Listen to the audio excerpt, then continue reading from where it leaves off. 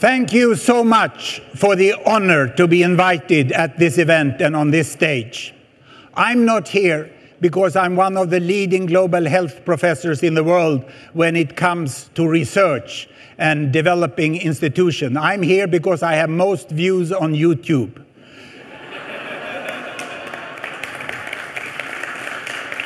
And the last panel just addressed the importance of bringing the whole issue out on social media. And I will stretch my, my presentation from the analysis of data all the way to how we can communicate it and the enormous challenge, especially among the public in the richest countries. Uh, first, gratitude. And I'm here in America, and I have to thank the taxpayers of the United States for Demographic Health Survey. Thank you very much. And it is the, the ongoing activity over the decades that we appreciate so much, and the stimulation it has led to others, and that you have led the way to provide the data free and for use for the entire world. We also thank UNICEF for following up with multiple indicator cluster surveys.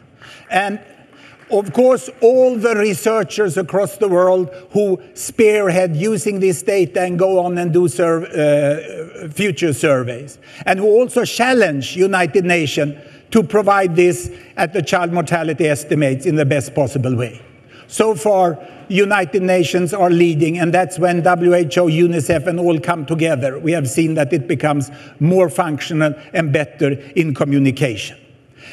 I also have to thank, of course, the research community, but especially researchers and institutions across the world that are leading now. I've been so impressed to see in Karachi, to see in Ghana how new institutions are being built to address research on child mortality at the cutting edge, highest level. That's very promising that that is moving out to countries. And why do I thank so much about that? Because I'm just a professor who stand on the shoulders of all these people who do the job. They who collect the data, who compile the data, who analyze it. And I also today wear the tie of the Uganda Bureau of Statistics eh, to show that it's the civil servants, even in the low income countries, that play such an important role in giving us the data and the evidence which we can use. So, what is it we need to do? Eh? Let, me, let me immediately going to show you the graph, one of my favorite graphs here. And each bubble here is a country. The size of the bubble is the size of the population. The big one is China, this one is India. And this is, I hope you can see it, 1960. It's 50 years approach of what happens. The color here of the continent is the color of the bubble. So the red is East Asia, the light blue South Asia, dark blue here is Africa. Whoops. and I thought I fainted, so. Uh,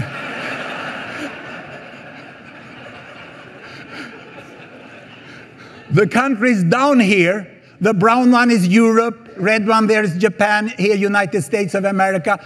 And what do I show here? I show the size of families or fertility rate one, two, three, four, five, six, seven, eight children per woman. If you say fertility rate, you are dead on social media. You have to say babies per woman. then it's understood. On this is child mortality.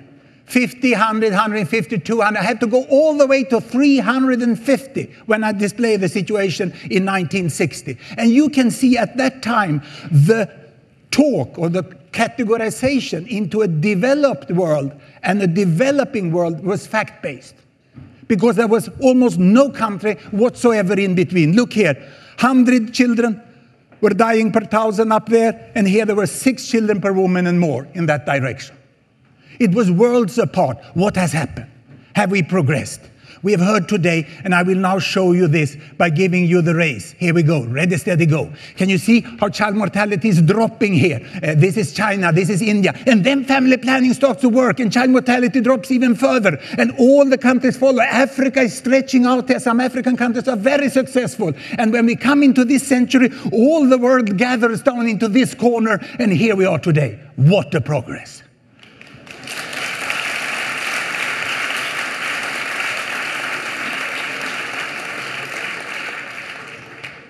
Can you see the division between the developed and the developing world? No, it's gone. It's only in our mind.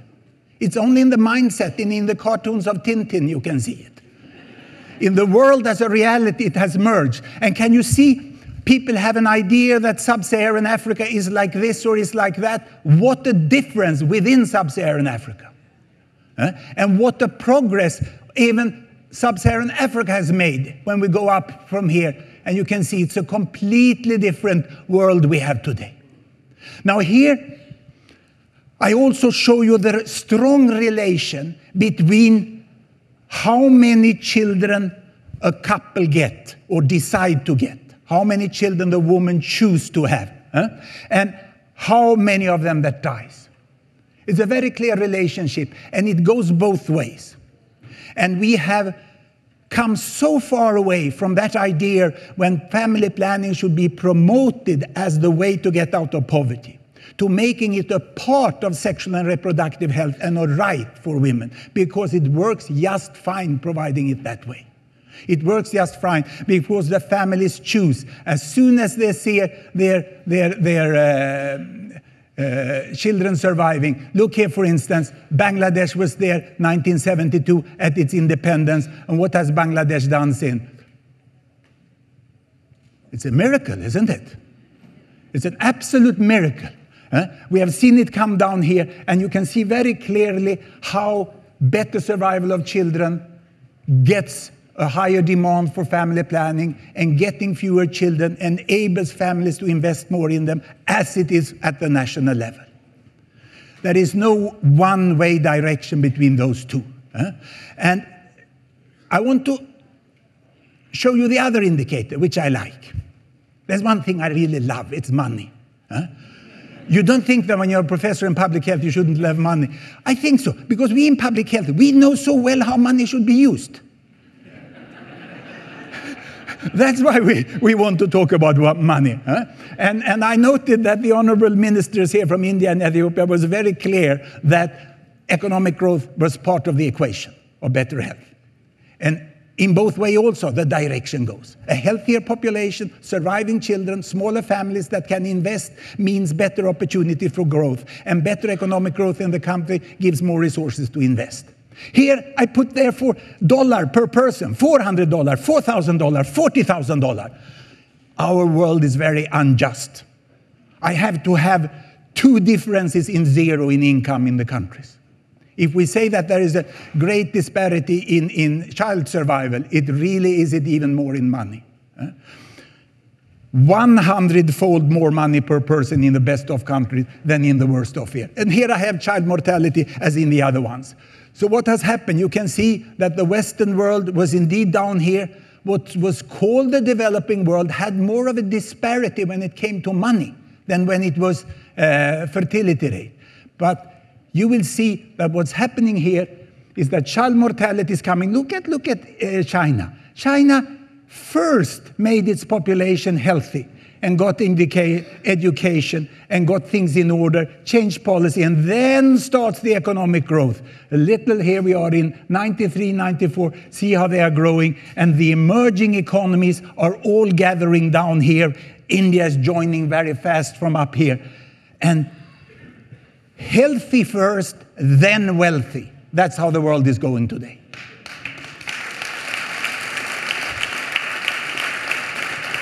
And it goes that way for two reasons because it's the right thing to do ethically, but it's also a damned clever investment. It's a very clever investment. It's easy to convince a minister of finance that that's the way you should go. Huh? So uh, now, to look this little careful, you can see child mortality has gone, come down to the level where I have to stretch this indicator. So I will do the following. Look, I do the following. I put it on this level where I stretch out the low mortality rates and I push them together, the high rates. This is called logarithmic scales. I want to call it a rubber scale, it's more relaxed. That's what I did with the money also. I took apart money for those with low income, I pressed it together. And can you see the amazing linear relation between money and child survival? If you're rich, kids survive. But there is a difference of achievement. Some countries are down here, some countries are up here on the same income level, as they are here in the middle and they are up here. That's the inequity in the countries, and that's the bad investments. That's why you need to know how to invest to make the best possible out of your money. But there is no country down here in the human right paradise where you don't have money and you have child survival. That doesn't exist. There is a, what I call end of equity line here. Can you see it? No country falls below this. But you can make your way down like this. And the other thing you see is there is also no clear cut limit here between developing countries and developed countries. There are countries all the way, all the way up here. The good thing is we have no country above that line any longer. We have no country above that li line any longer. So, what I want to show you here is my own country. Swedes are quite obsessed about Sweden. Huh? We happen to be the country that export most arms per inhabitant in the whole world. And we have had peace for 200 years. So it's very difficult for us to come to grip with those statistical facts. We, yeah, it's sad. Huh? We don't understand why it is like this. Our country has gone through this very peaceful period. I go backwards with Sweden, and I go backwards to the year when my grandmother was born in 1890. She took care of me when I was a child, and my mother had tuberculosis. And when she was born, Sweden had the same child mortality as the worst of countries today. Isn't it amazing? That means in my life, in my living memory, in my family, I bridge the entire variation of child mortality in the world. And from there, with peace, and Sweden, more than anything else, had luck in history. We've been so lucky staying out of the wars, having natural resources, having good neighbors, having good collaborations. So, with all that luck, it wasn't surprising that we managed to do this. We reduced it, and there my mother was born, 21. Eh? Sweden was like India. So, my mother is actually Indian, my grandmother is Nigerian. Grandmother was in Nigeria, mother was in India. Eh? And as things have changed, when I was born in 1948 here, eh, we were in China. So it didn't surprise us much that when China had this enormous progress, this year they bought the Volvo company. In 1948, the Volvo company started to export cars. It's really to grasp what it, what it can make difference when you invest in children what it pays off many, many decades later. And then our first daughter was born 1974 when Sweden was more or less like Chile. And then I was lucky and, and, and uh, so lucky to have our grandchildren born when Sweden was almost like Singapore down here. This is an amazing tour Sweden have done. Eh? And you can see how, how one can understand it in this way. Huh? Grandma, mother, me, daughter, and granddaughter. Instead of thinking about developing countries and developed countries, we have to have several groups of socioeconomic progress. And those countries learn best from those which are a little ahead of them, eh, who were at that level some decades ago. And, and uh, uh, there are many things which have happened which we never thought would happen. Just look when I go back I go back here and I, I'll take Sweden to 1960 here. Huh? To 1960, sorry, I, I let the world free there, and the world moves up with me there to 1960. And then South Korea was there. Very high child mortality. Singapore, Singapore was there, you know, and Sweden, lucky in peace, we were actually ahead of everyone else. And that got, got sort of problem with that afterwards. Huh? Uh, every country have been in ahead of something, think they will be there forever. Huh? So I take away the other countries and let me see a race to tell you how this developed. We should go a little quicker here, like this. huh? What would happen? Sweden progressed. We had good economic development. We implemented more and more actions for this. And we saw and heard about Singapore coming up, and we were happy that South Korea came up. And we never thought they would come so close to us, you know. And South Korea was down here. They were not so rich, but they got richer than us, Singapore. And we got very nervous. And here they overtook us. And we never ever thought that the tropical island could make it and come all the way down here. Uh, honor to Singapore. Uh, honor to Singapore.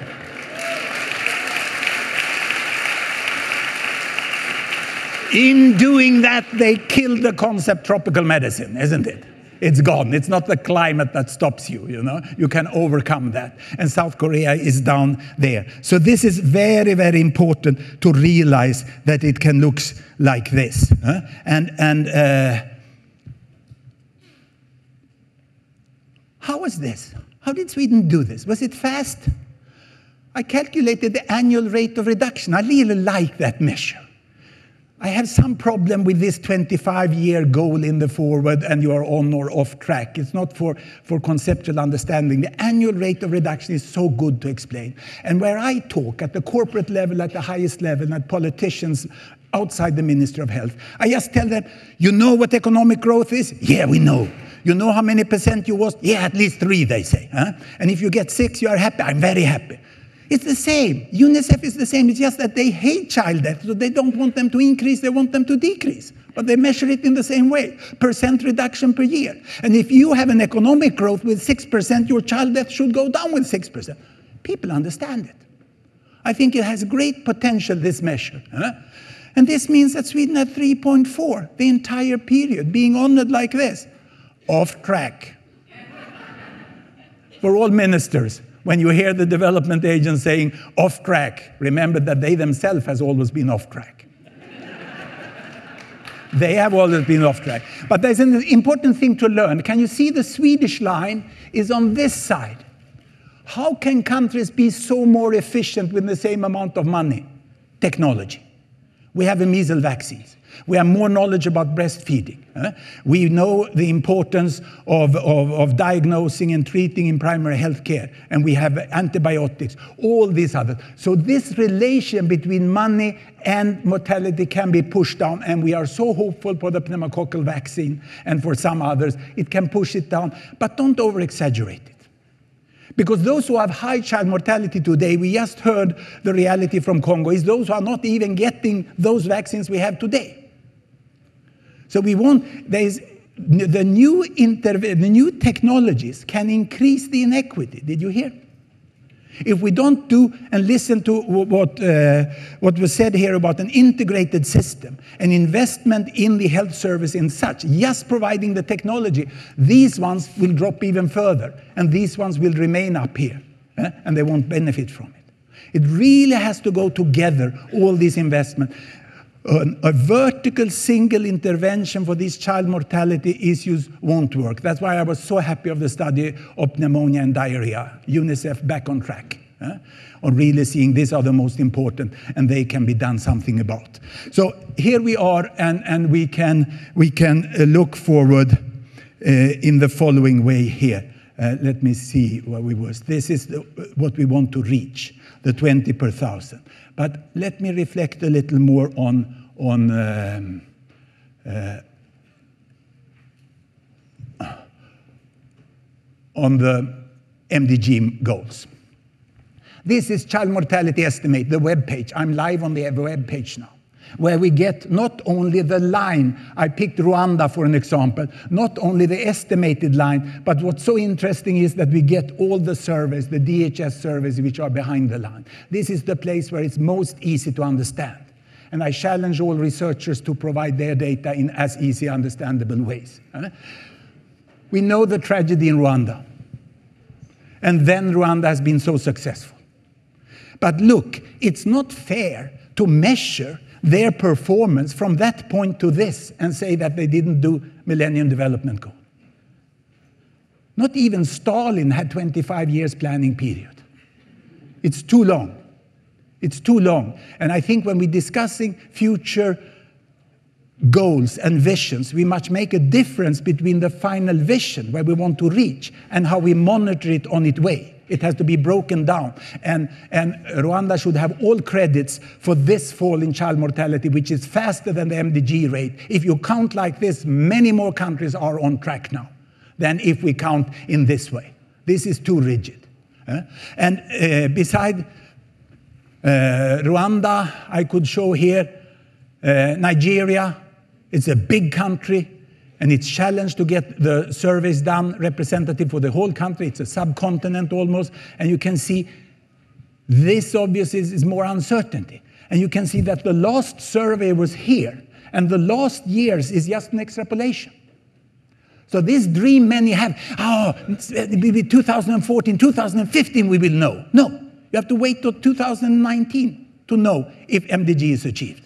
Otherwise, we are going to judge on surveys which were many years ago. So it's time, that's why it's so appropriate now to think about the new vision and not sit and wait to 2015 because we will have such a communication problem to explain what this was. Here you have uh, Ethiopia, really doing well, and we know that the new DHS is coming, which confirm that this is even lower, even lower what is looking today. And here we have Congo, and you can see that the conflict, the tragedies Congo has been passing through also has limited the number of survey. That's why it's so important if you want to focus on the poorest, also to go there and measure among the poorest and to assist Congo even, even in that way. They are capable of doing it themselves, but they would need the assistance for, for, for getting it done. Now, when I go back and look at, sorry, I had to go here. Huh? And I take this away. I want to say, is it possible to reach 20 per thousand in 25 years? My way of doing that, I'm very simplistic, as you have understood by now, huh? is, is to go and look at Peru, which are on 20 now. Huh? Peru are on 20 now, and, and not only Peru, but I also find Egypt there and I find Turkey. Where were these countries 25 years ago? Oh, oh, I have to go here and I look the world and I only take those countries backwards, and I go to 85, 84, 85. And quite interesting, isn't it? They were at a very high level. Can you see? Almost up there, indicating really that this drop seems possible, even if you don't go in and do these advanced, advanced estimates. But think a little why could they drop so fast? Because they had huge inequities. They were at a position where they were using their money very badly. And then they got it and they really reformed it and started to use them very well and had slight economic growth and then faster economic growth. So if you have huge inequities, you have accumulated a potential success and you could done it easily. It's much tougher for Vietnam. Huh?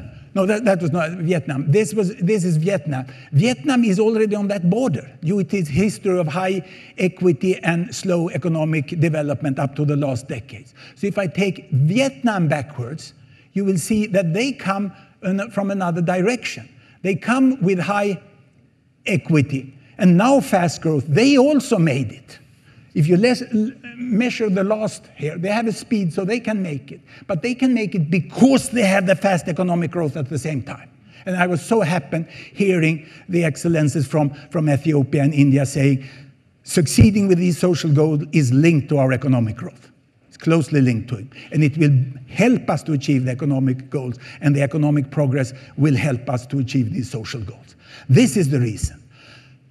So, is it possible now I was told not to be a skeptic. I don't accept that. I'm an analyst. Eh? We, we need not only aspirational goals, we need achievable goals. I was told 48 hours ago that I should run my presentation from these screens. That would have been an aspirational goal, an aspirational presentation.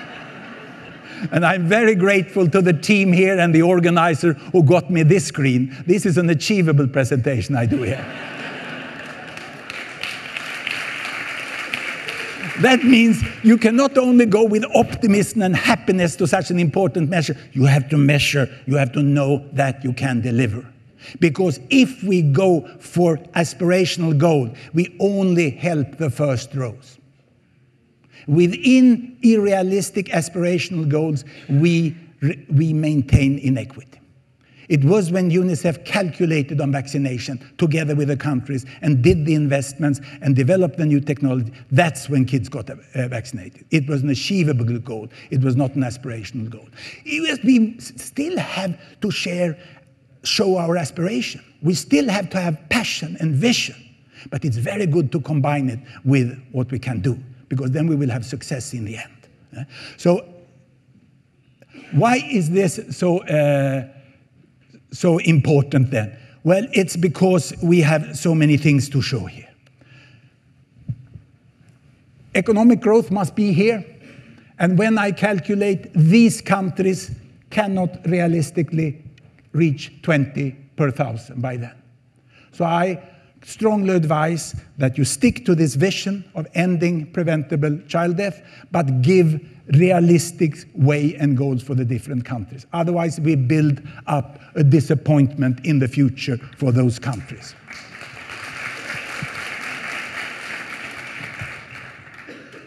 These are the people in the world. We are 7 billion. Huh? And we will be 2 billions more 2050. Africa will double its population, and we will get 25% more in Asia. Uh, I jump over this. This is what we saw. In the old time, balance was maintained because children were dying. Then children were surviving. And then in the future, parents will get two children that both survive. We are quite close to achieving that.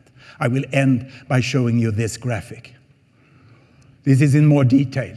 Every little doll here is 100 million people. This is Europe, a boring place same amount of people in all age group. This is UNICEF's group.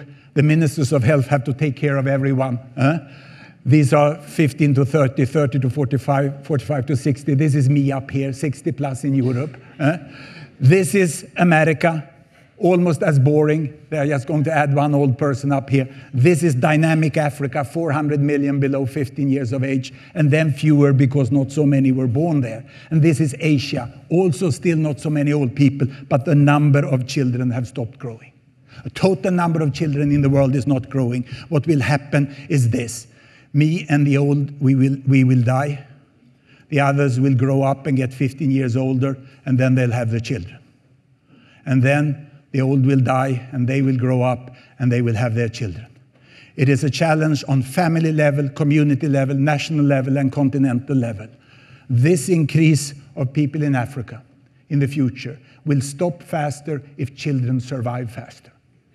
This is one of the most important message. Child survival will help stopping population growth, will help the family also having less, less uh, uh, pregnancies. And, and child health, maternal health, and family planning goes together in a system. Asia will have less children like this, and we will have a future which is possible. This is not to be a cynic to put that line up. Eh? It's to save you from disappointment. The problem with people in office and in, in, in, in, in politics is that they will not be around when reality comes. But we really have to make it the right way because the countries up there, Congo can do it. It's no question that Congo can achieve 20 per thousand, but it may need another decade or two. And it as well to have that realistically from, from the beginning. Here is the challenge, the final challenge. I got the opportunity to ask the Swedes what they know about the world. Sida used to run uh, uh, a Gallup every year and ask them what they thought about the world, how they felt about the world, and if they liked aid. Then I was asked to put knowledge questions. I asked how many babies are there per woman in Bangladesh? What is the child mortality in Kenya? I gave them four options. These are the Swedish answer. 43% thought it was 4.5 children, 47% thought it was 30% dying in Kenya. 10% was only 7% here, 2.5% was only 5% out there. Huh? And of course, this is the right answer. The Swedes think the world is as it was 25 years ago. now, don't laugh too much. I challenge you, go home and test your own people. but I went to the zoo in Stockholm and asked the chimps, and they had 25% right in this. So this is not ignorance. This is preconceived ideas that the progress have not been made. And this is the most of the voters behind the AIDS are like this. It's shocking. And this is in the country with the YouTube professor. we really have to do this, and we may achieve it by reshaping how we talk about the world. You talk in UNICEF about developed regions and developing regions, and Korea and Singapore is developing, and Albania and Rom uh, Romania is developed. That's strange. That's where South Korea and Singapore is, and that's where Albania and, and developed is. What does it take to change categorization? You have to color your hair blonde and get birch trees, or what is it? No, I'm very serious on this. This is one of the things that stops understanding this general talking about developing world. You know? We need to show the progress being done in countries and not to look. Sub-Saharan Africa cannot be looked at in one unit. We have some countries forging ahead, other countries remain in deep problems, you know. But they are fewer and fewer and more and more successful. We really have to work it out so it, we can understand it. These families want us to succeed. And this is how the world will look happy two child families with surviving children. Thank you very much.